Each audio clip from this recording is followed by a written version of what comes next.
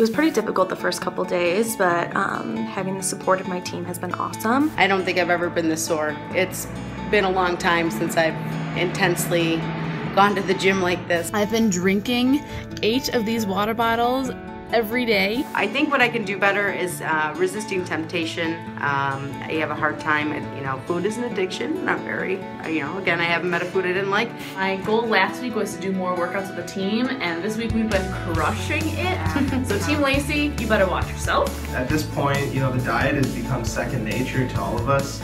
I truly have never felt any better. Um, I can see a change in my face and in my body. These are coming back. Do you see them? so the fact that I'm at the point where I am right now is like incredible to me. This was something that was a dream of mine for so many years, and now it's a reality. This shirt is a medium. And my clothes are also like falling off me. They almost fell off walking here today. it may have been negative 17 outside, but we still got here at 6.30 in the morning. We're feeling awesome. There's no Doing doubt it.